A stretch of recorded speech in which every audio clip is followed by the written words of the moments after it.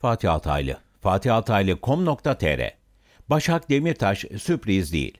HDP'nin eski eş genel başkanı Selahattin Demirtaş'ın eşi Başak Demirtaş'ın partimiz uygun görürse İstanbul Büyükşehir Belediye Başkan adayı olmak isterim açıklaması bazılarını şaşırtmış olabilir ama bu sayfanın düzenli okurlarını hiç ama hiç şaşırtmadı.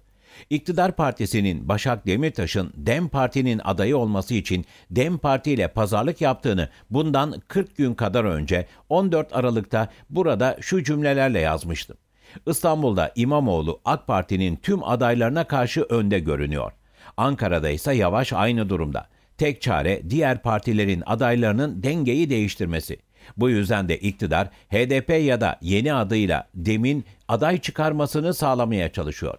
Başak Demirtaş'ın demin adayı olması halinde 10 puan civarında bir oy alabileceği ve dengeyi İmamoğlu aleyhine bozabileceğini hesaplıyor. İktidarın bu arzusunun Kürt siyasal hareketi içinde karşılık bulduğunu da şöyle anlatmıştım. Seçimlerden hemen sonra bu köşede yazdığım üzere siyasal Kürt hareketi içinde muhalefetle birlikte hareket ederek bir şey kazanamıyoruz, iktidarla uzlaşalım fikriyatı oluşmuştu ve CHP ile açık açık görüşen HDP ya da DEM AK Parti ile de gizli bir diyalog götürüyordu. Ve şimdi DEM'in İstanbul'da en az 10 puanlık bir potansiyeli olduğu düşünülen Başak Demirtaş'ı ya da 7 puana yakın alması olası görünen Ahmet Türk'ü aday yapması konuşuluyor. Benim bu yazımdan sonra DEM Parti epey bir hareketlendi. Ahmet Türk siyaseti bıraktığını açıkladı, sonra geri döndü. Ve Başak Demirtaş adaylık arzusunu açıkladı. Zannederim bu adaylık Selahattin Demirtaş'ın durumunda da bir değişiklik sağlayacaktır. Muhtemelen pazarlığın bir parçası da budur.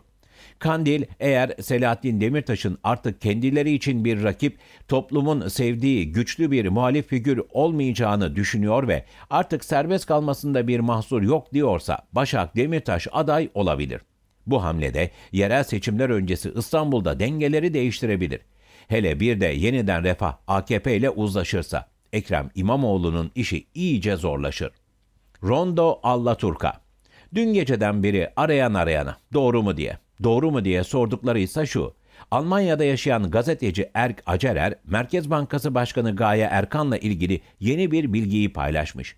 Daha doğrusu iki bilgi. İlk bilgi Hafize Gaye Erkan'ın babasının İstanbul'da Kadıköy'ün şık semtlerinden birinde Gaye Apartmanı adında kocaman bir apartmana sahip oldu.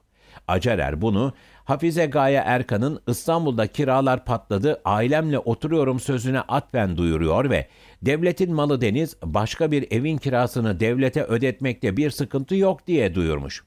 Acerer'in diğer iddiası ise Hafize Gaye Erkan'ın babasının Mehmet Ağar'la teyze çocukları oldu.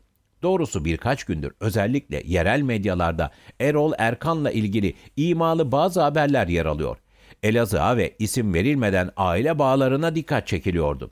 Yozgat Çamlık gazetesinde, Çorum Osmancık Haber'de ve başka birkaç yerel gazetede Erol Erkan'ın Elazığlı kimliğine dikkat çekiliyor ve burada bir sır olduğu ima ediliyordu. Yeni Bakış'ta ise Erol Erkan'ın Türk siyasetinde yetim Hüsnü olarak bilinen Hüsnü Doğan'la akraba ve bu vesileyle Turgut Özal ve ailesiyle de hısım olduğu bilgisi vardı. Görünen o ki Erk Acerer bu imaları somut bir iddia haline getirmiş. Bu iddiaların doğru olmaması için bir neden yok. Zaten ortada bir suç da yok. Ne babasının apartmanı varken devletin verdiği lojmanda oturmak suç ne de Mehmet Ağar'la akraba olmak. Akrabalık ilişkileri hiçbir şeyin şansa olmadığını gösteriyor sadece. Gerisi ise benim daha önce de söylediğim gibi istediğiniz kadar iyi eğitim alın, isterseniz ABD'de banka siyoluğu yapın, eğitimin sadece cehaleti aldığı, aç gözlülüğün ve alaturkalığınsa baki kaldığı. Şengör, bilim anlatmak zararlı faaliyetmiş. Sevgili arkadaşım Celal Şengör, Rütük Başkanı Ebu Bekir Şahin'e açacağım hakaret davası ile ilgili görüşlerini içeren bir destek mektubu yazmış. Sizlerle paylaşmak istedim. Sevgili Fatih, Rütük Başkanı Ebu Bekir Şahin'in sana ve bana yönelttiği çirkin sözler ve gerçeği yansıtmayan ithamlar nedeniyle mahkemeye vereceğini öğrendim. Benim de başta böyle bir niyetim vardı. Her ne kadar bu tür bir davranış ve böyle bir lisan devletimizin üst kademe bir bürokratına hiç yakışmıyorsa da ben bu tür bir kişilikle muhtemelen savcı ve yargıçlarımızın zaten tepeleme dolu olan programlarına ek bir yük oluşturmamak amacıyla niyetinden vazgeçmiştim. Ancak senin yazını okuduktan sonra fikrimi değiştirdim. Sen mahkemeye başvuracaksan ben de destekleyicin olarak katılmak isterim. Halkımızın bu zatı iyi tanıması ve akla ve bilime dayanan cumhuriyetimizin bazılarının elinde nasıl bir tehdit ve tehlike altında olduğunu görmesi lazım. Türkiye'nin en iyi ve en faydalı gazetecisine basın kartı olmadığı için saldırmak bu ne akıldır? Dünyanın gelmiş geçmiş en büyük jeoloğu olan Edward Suess'ün de üniversite diploması yoktu. Buna rağmen kendisi Viyana Üniversitesi'nde profesör atandı ve 44 yılı bu vazifesini ifa etti. Keza tüm dünyada modern Türkolojinin kurucularından olan Ordinarius Profesör Fuat Köprülü'nün de üniversite diploması yoktu. Ama Rus Bilimler Akademisi yabancı üyesiydi ve Sorbon'dan şeref doktorasıyla takip edilmişti.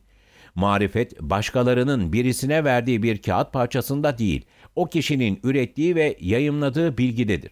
Üstelik de senin basın kartını hak ettiğin ve hakkın olduğu halde ilkelerinle bağdaşmadığı için almadığını herkesin malumudur.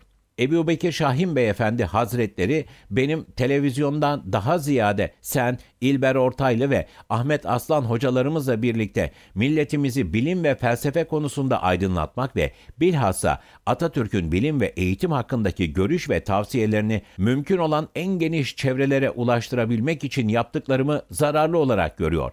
Sosyal medyadan yayımladığı kendi sözleri aynen şöyle. Televizyonları sizin gibi ekran zararlılarından korumaya devam edeceğiz. Belki depremler hakkında verdiğim bilgileri de zararlı addediyordur. Halbuki program ve kitaplarımız milletimizden ne büyük teveccüh görmektedir.